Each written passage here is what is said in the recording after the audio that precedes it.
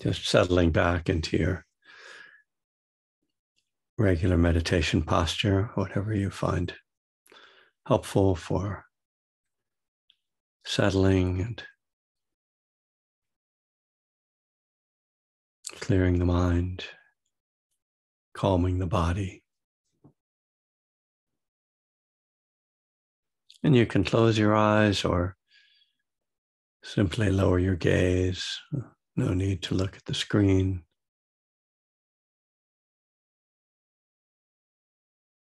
And turning the attention inward. And that initially means just feeling your body, feeling how you're holding your body. You know, it might take you a little while to find the right balance and alignment.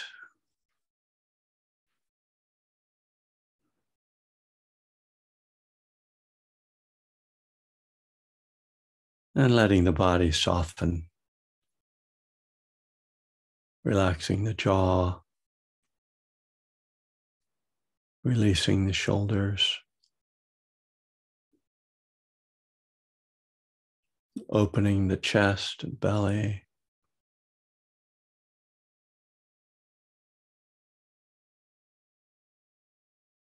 Just a sense of letting go through the body.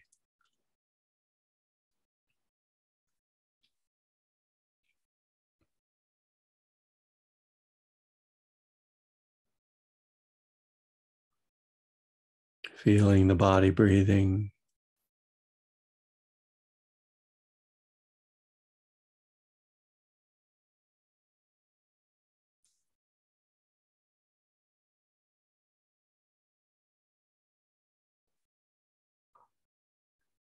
feeling the mood, the present moment mind state.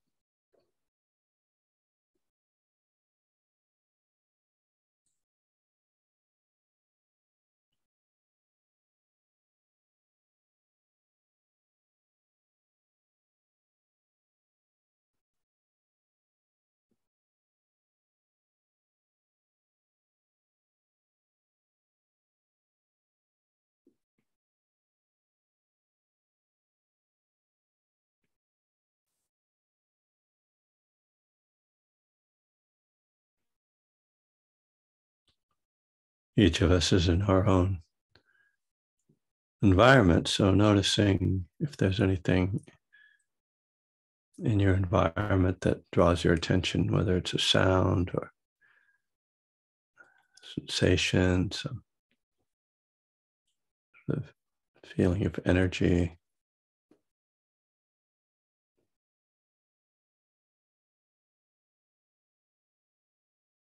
Oh, uh, no in an ordinary meditation hall, there's often a sense of communal energy. So, not sure we we can get that.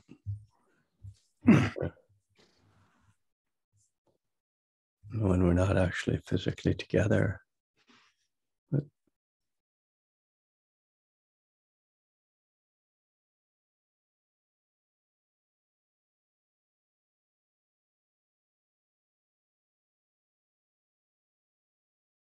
And letting the attention coalesce around the breath. Just feeling the movement of breath, the rhythm of breath, the sensations of breath.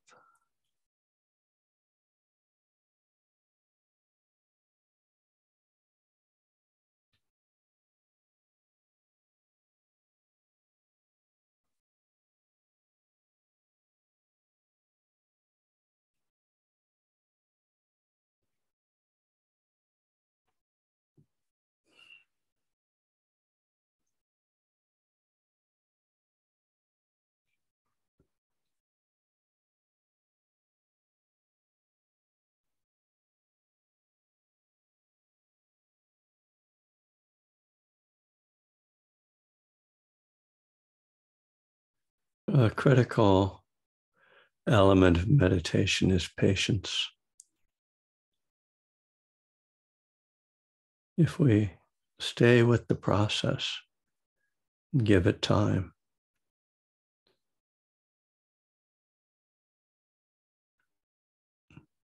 Everything will get a little more quiet and calm. The mind become more clear.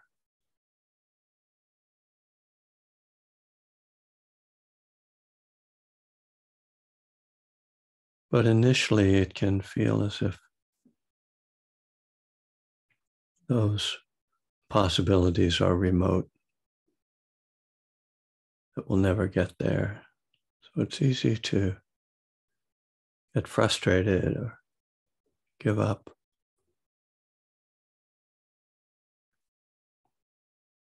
No patience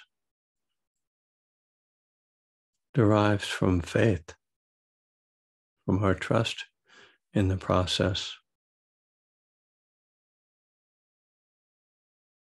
If we trust that, that things will unfold in a helpful and positive way, then we can be patient. Allow that to happen in its own time.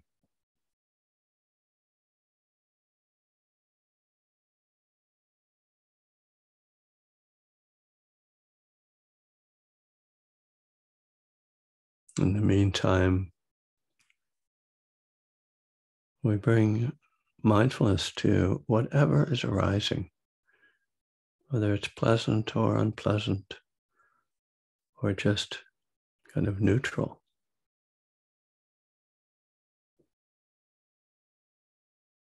Such a tendency to try to control our experience or to move away from anything unpleasant, to try to grasp on to any small moment of pleasure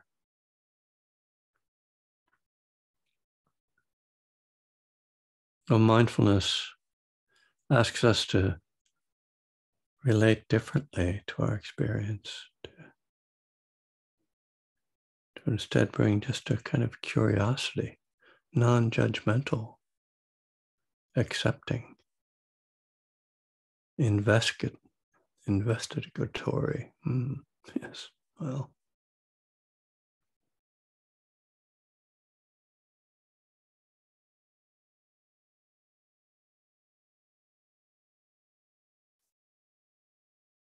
And we sit with whatever is arising.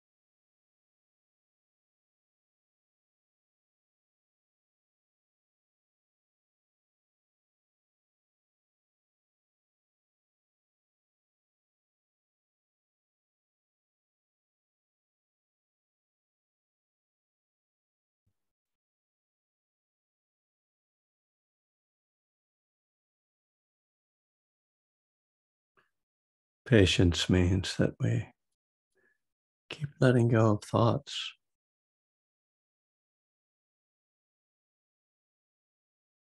Just letting them pass through. Don't have to push them away. Just notice, see thoughts, come back to the breath. Keep it simple.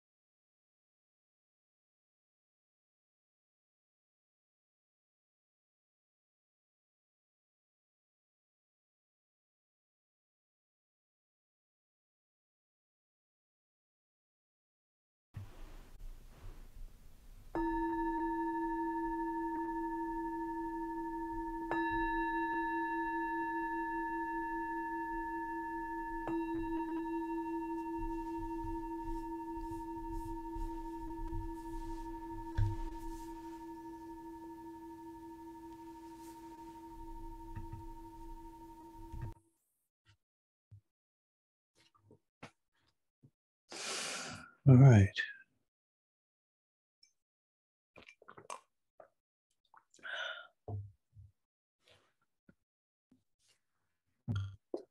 So um,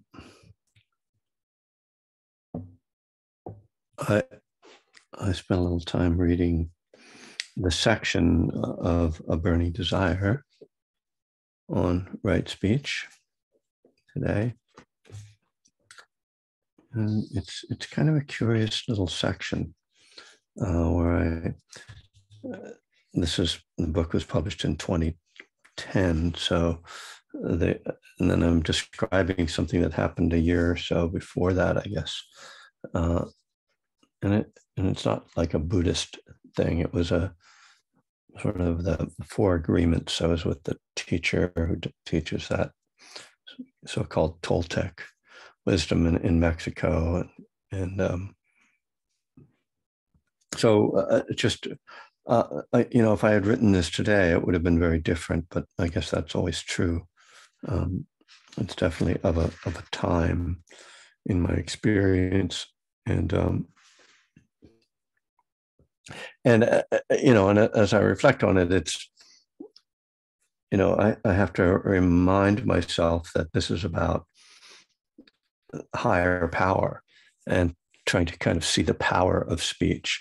So there are these couple moments where on this uh, this kind of ritualized uh, practice we were doing with this teacher, I was invited to kind of teach mindfulness, but he was leading these uh, four agreements based uh, rituals. Um, and and in um, some of them, there's like a, a moments where you where you speak, um, but you're kind of making a statement or a commitment and and even uh, almost a vow or an assertion in that moment of sort of a, a definite um, co- commitment or uh, sort of um, belief, uh, and um, and so that that I think is is particularly interesting because typically when we talk about right speech in Buddhism, we're mostly just talking about it as a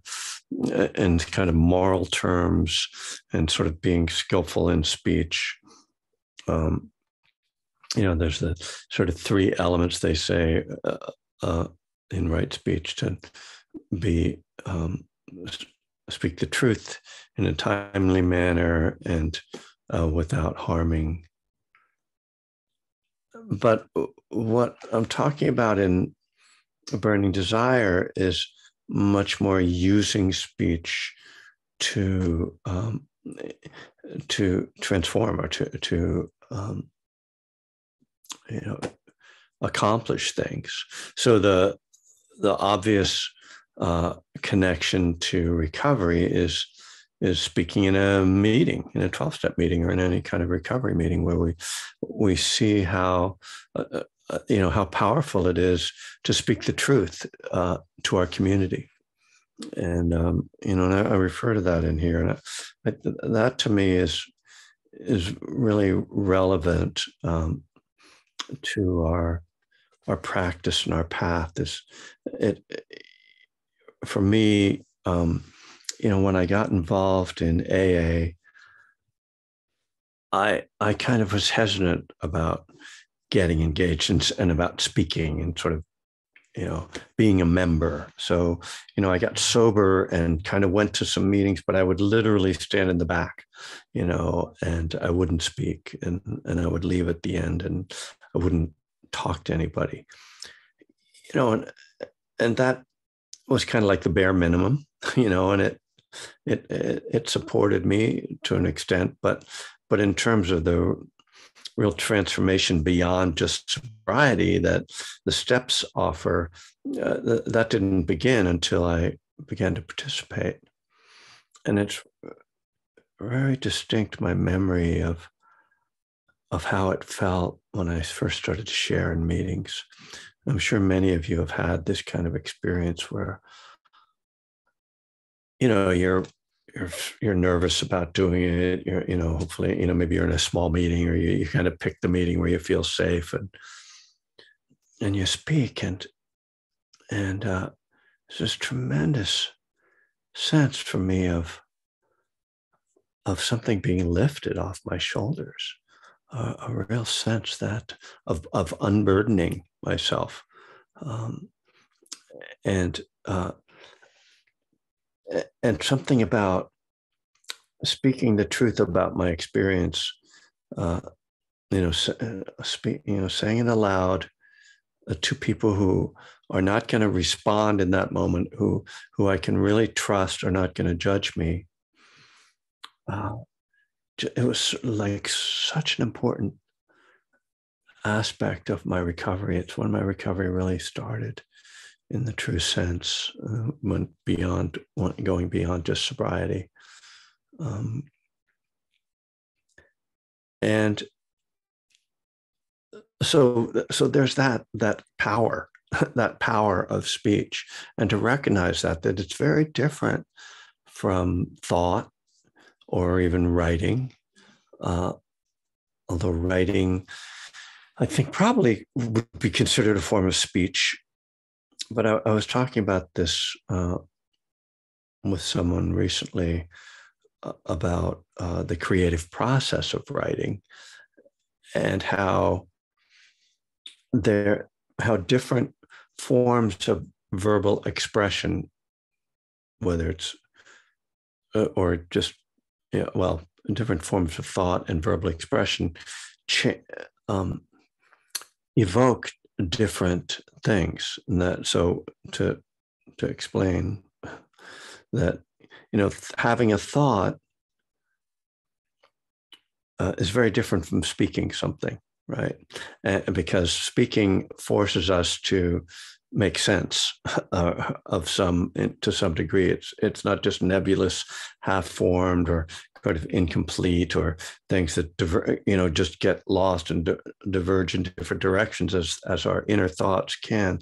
So when we speak, there's this different kind of thinking that happens, and then uh, in the same way, when we write, and uh, the um, there's another form of uh, clarity that comes, and and I was talking about this uh, with this person particularly about working on any kind of creative writing or writing a book that you know writing an outline doesn't evoke the same kind of creativity that's saying just i'm going to start writing chapter one you know? I'm just going to start to type and and uh, the words and let the words come through so there are these different forms of of verbalizing or mentalizing. And um and and so i would say the spoken and the written word are are you know essentially both forms of speech. And and they have this power for ourselves to be very transformative. I mean, this is why we write an inventory. Know, it's you know in in the twelve step world because there's something that happens when we start to write down our experience rather than just speaking it. So there's different forms of of expression have different sort of energetic effects and, and powers. Then there's the the other form of the other power of speech, which is not just for ourselves, but for others, right? When we speak, we are impacting others. And and this is another form of power that we have to take great care with. It's why we have this idea of right speech, uh, because we can impact people so much you know and as a as a teacher and a public figure you know i've had these moments where i've said things uh, that really upset people you know. It, usually individuals usually not the whole crowd. They don't usually all go after me at once. But you know uh, someone something just someone just gets really set off by something i say and and um you know it's having had people you know, give me that feedback on occasion uh, uh, has made me much made me try to be more careful in my speech and, and recognize and try to really consider what are sort of the range of effects that these words could have. And um and so this becomes like this other aspect of of right speech which is that we need to bring mindfulness to it but it, the you know the common term now in the in the diversity world particularly but it applies beyond that is to pay attention to not just our intention behind what we say but to consider the impact that might arise. And and that requires this other kind of care and thoughtfulness um, and and awareness uh, that's uh, very challenging, you know. So we start to see that that our relationship to speech is um, probably more complicated when we try to take on the idea of right speech. Probably more complicated than we perhaps thought. I, I remember the the first time that I intentionally started to think about right speech. Um, and I, I, I, talked about this not too long ago. I, I just recollect talking about it here, sitting in my chair here and looking at my screen, as I've been doing for a couple years. It was after a, a, retreat I was on um, over around Christmas, just after Christmas uh, in 1992 with Ruth Denison down in Joshua Tree, California, and she handed out the Metta Sutta, which uh, Mary Helen was referencing before. Um, and the Metta Sutta uh, starts out saying, This is what should be done by one who is skilled in goodness and who knows the path of peace. Let them be able and upright, straightforward, and gentle in speech. And when I got home with that uh, from the retreat, I thought, I'm going to read through this sutta. And when I come to the first thing that I can take as an instruction, I'm going to take that on as my practice for a while. And so when I, the beginning of it is a little more vague. So it's this is what should be done by one who is skilled in goodness. So I, I didn't know what that what to do with that let them be able and upright. Uh, okay. Straightforward and gentle in speech. Oh, okay. That's pretty clear to be straightforward and gentle in speech. So I thought, oh, uh, that's what I'm going to try to do. Very quickly, I saw how difficult this was going to be. And and of course it, you know, not only just generically difficult, but personally difficult because straightforwardness isn't really my approach to speech. I tend to be sarcastic and, uh, you know, cynical, and some people accuse me of being negative. I resent that, but uh, no. I, so so it really, and that was 1992, you know, and uh, is that what I said? 1992 uh, years. Yeah. So that's 30 years ago. And and I certainly uh, have to continue that practice. I will say though that uh, you know I've had a certain degree of success with that, but but it's something that I've had to really persist at, and for those who've been on retreat with me, uh, you know that uh, we lead uh, these mindful dialogue exercises uh, in the afternoon on our uh, intensive retreats. And they, in those exercises, one person speaks, another person listens. You just have it, you're just paired off in a dyad. And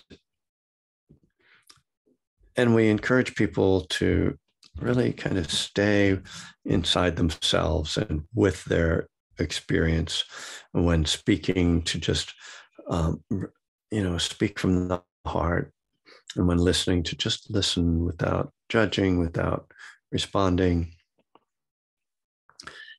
And one of the impacts of that exercise is seeing the power of speech, you know, uh, the power of listening, which is, I think, would fall under right speech, right? Right listening is is part of this process, and uh, you know, so so if we can really uh, start to notice how speech works, you know, how it how it affects us, how it affects others. Um, really can it's it, it can be very transformative in our relationships because I mean that's it's kind of the the central element of of a relationship is speech. And and so it it's got this great impact in our lives this social impact. So uh, let me finally um, see if i can talk a little bit more specifically about how we can think of this as a higher power because that's the that's the sort of uh, thread running through this book uh, is is all the looking at these different aspects of the Dharma as powers. And, and I've already talked about that somewhat. But what does it mean? This is the kind of my persistent question, which what does it mean to turn our will and our lives over to the care of right speech? Yeah. and it, you know, f- first of all, it means you know, being really committed uh, to that, you know, th- uh, taking it on as a practice, um, not just saying, oh, that sounds good, or I, I'm okay with that, but really investigating, you know.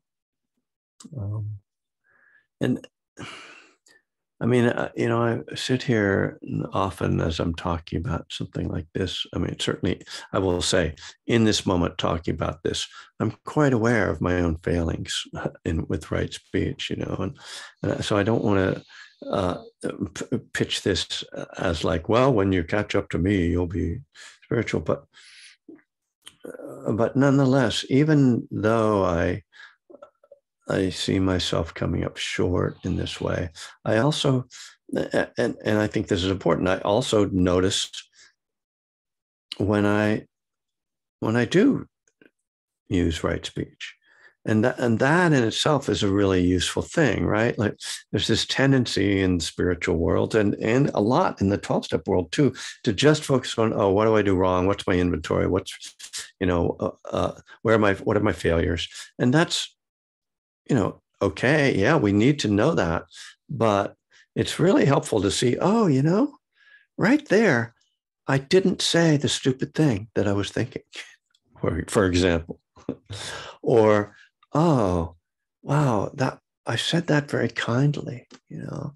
I mean, uh, sometimes words come out of my mouth and I'm like, well, that sounded really nice and and because in my mind might be some other version right which is a lot of what is involved in this process is uh, is catching that so turning your will and your life over means that you put aside that I don't like the word negative.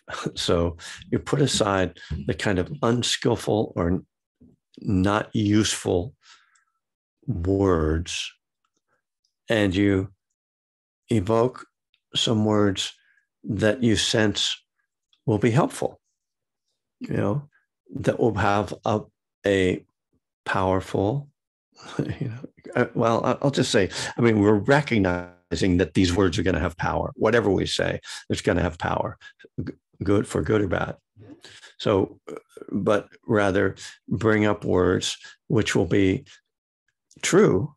So we're not putting, you know, we're not being phony, like, oh, everything's fine. No, we're being honest, but we're doing it in a way that's helpful rather than just uh, as one does, you know, blurt it out, right? The the uh, thing, the the negative thing. There goes negative. the the unhelpful thing. And so it, it really, the, I think the key to, to this, and we see this in the insight dialogue, is pause, right? And I mean that's in the twelve steps too, right? You know, we they, you know, we're we're suggested that we pause before taking actions, before saying things, and you know that that pause, the mindful pause, is kind of the key, you know, and and this calls upon then uh, that element of mindfulness, which is to remember. This is uh, one of the elements, yeah, the, one of the elements of of this uh, Pali term sati is to remember, and so we have to remember to pause and remember how we want to express ourselves. And once we do that, we're kind of, you know, we're almost home free. You know, we've done the hard work. The hard work is the interrupting the impulse, interrupting the conditioning, the habitual ways of being. And, you know, and that's so much of what spiritual practice is about, and specifically what recovery is about. Because addiction is this deeply conditioned state, which causes us to continuously and repetitively take unskillful actions un, which are driven unconsciously. And we t- many much of the time we take those actions unconsciously. We just keep following that right? So to to stop and to pause to reflect is the way that we interrupt that habitual and conditioned behavior so this is the i think the the key element of right speech i think uh, you know I mean, it helps to have some sense of how we want to be, but I don't think it's that hard to kind of know how we want to express ourselves. The hard thing is to do it in real time, is to interrupt those impulses and conditioned behaviors. Excuse me.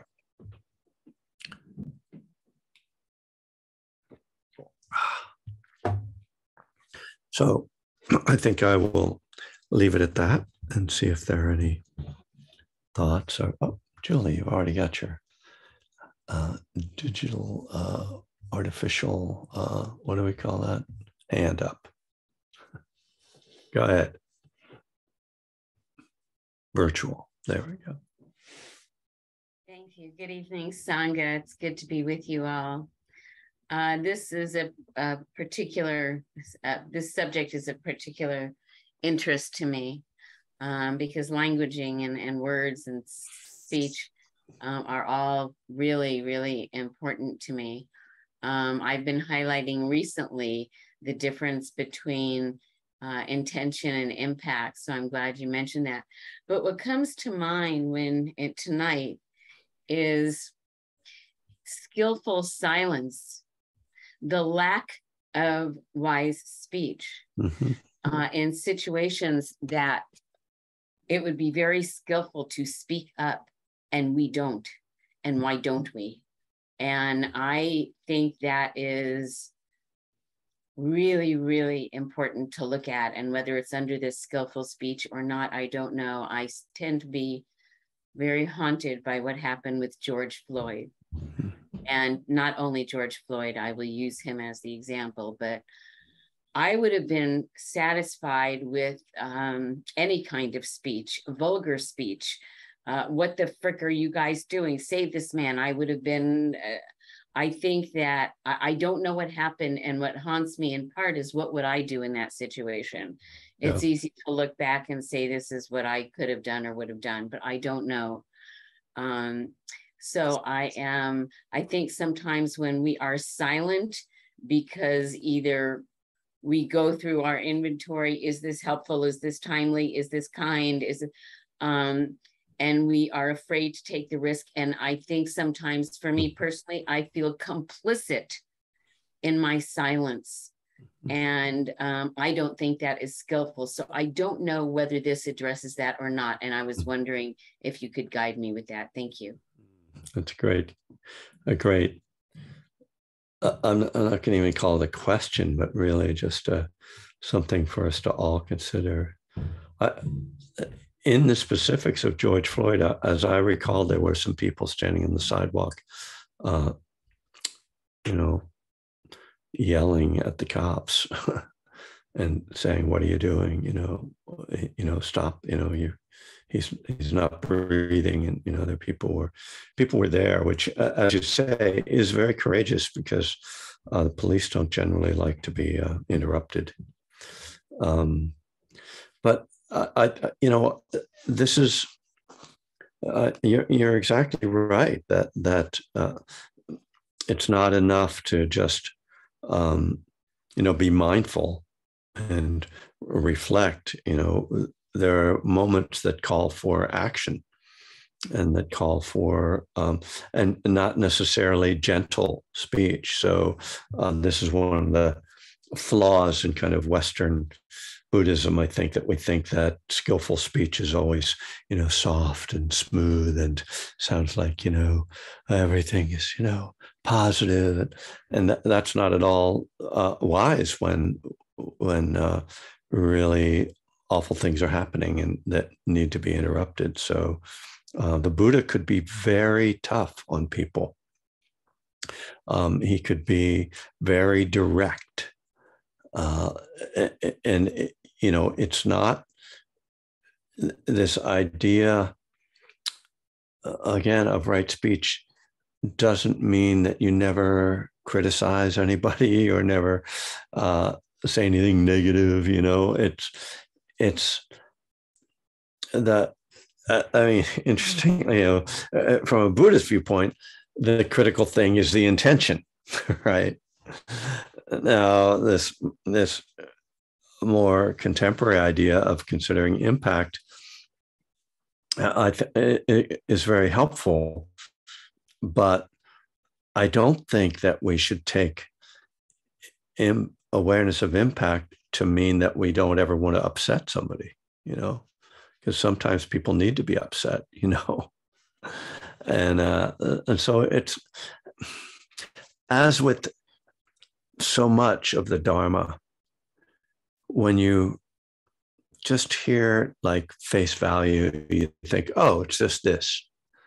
But then as you start to poke it, just as you were doing, you start to see it's not so simple and it it really becomes for one it becomes something where we need to be aware in the moment of what is happening and how to respond and it there isn't always a formula we can turn to and say oh i'm supposed to do this you know?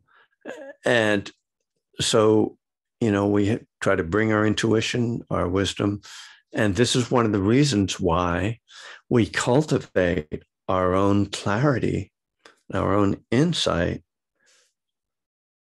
so that when a moment arises where there is the need for an immediate response, that we are more likely to respond skillfully and make a right decision.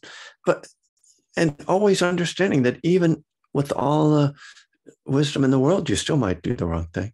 You know, you still might say something that just didn't that make the situation worse or harm someone. You know, you, there, uh, there's no perfection in this in this path. You know, other than nibbana, and there's no talking when you're enlightened. I mean, there's talking when you're enlightened. There's no uh, words. You know, with nibbana, that's just like um, the unconditioned. So, uh, anyway, thank you for, for bringing that up. And just, yeah, I, again, just it's really helpful to just remember we're not offering, uh, you know, pat responses and answers here. We are really uh, trying to examine things from as many sides as we can and then, then act skillfully in the moment. So thanks, Julie. Angela. Hello. Hello. um, thank you for tonight. It's nice to be back class with you and um yeah, nice to reflect on this again. It's been um brought up some helpful things that I remembered and um, you know, particularly around when I would first when I first started sharing in AA meetings um and even like before i would share you know i'd and even in this class i think toward the beginning of the pandemic i was experiencing similar things where like i'd really want to say something because i'm always so moved by you know whatever was happening and being said in the aa meeting or being taught here and what you know my mind was kind of yeah wanting to connect. I don't know but like um and then when i would share or or speak you know after i'd i'd have a lot of um doubt or just stuff would come up right like sure vulnerable and all that and I shouldn't have said that. Why did I say yeah, that?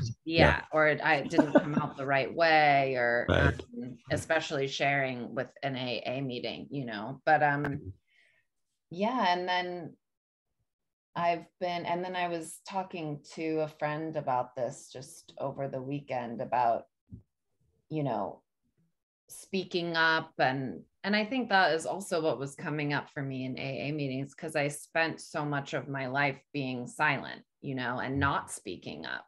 Um, and and that was the source of, you know, pain and real difficulty for me. But um, so yeah, that this like how to discern between kind of what you were just talking about, like when it's helpful or all of that stuff. But yeah.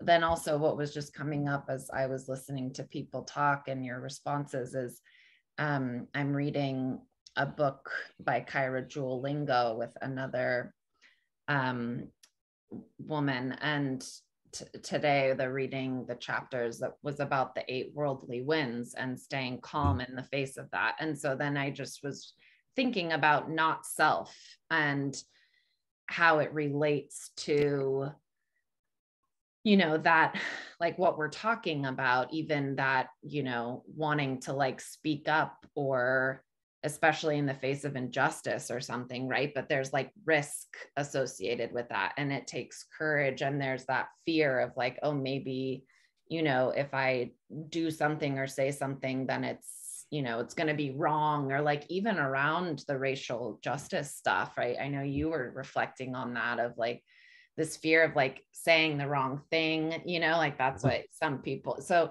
anyway but just i guess what i'm getting at and what if i left any time for you to respond is like the piece of not self in all of this you know yeah. which i think is really helpful for me right. as i'm starting to put it together of like and like what you just said that like we're going to make mistakes you know we're not perfect and and it takes practice that's the thing too of just like you know and practice of speaking up or not speaking right and pausing and mm-hmm. having those moments but also you know making mistakes and knowing that we're going to be okay no you know but yeah those, those are just kind of some of the things i'm thinking about right now. So thank you.